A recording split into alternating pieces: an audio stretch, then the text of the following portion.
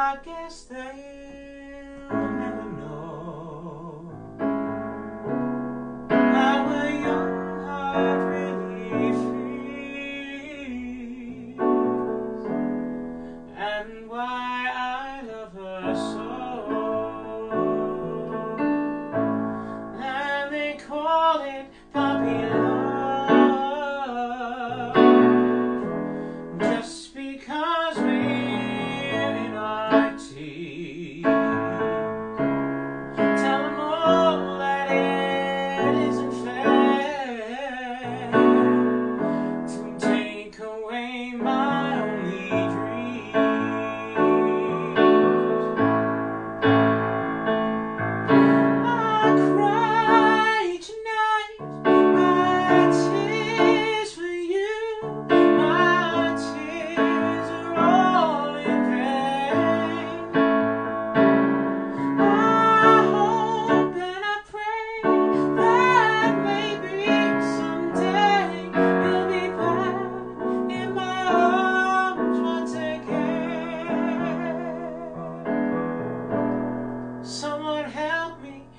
me,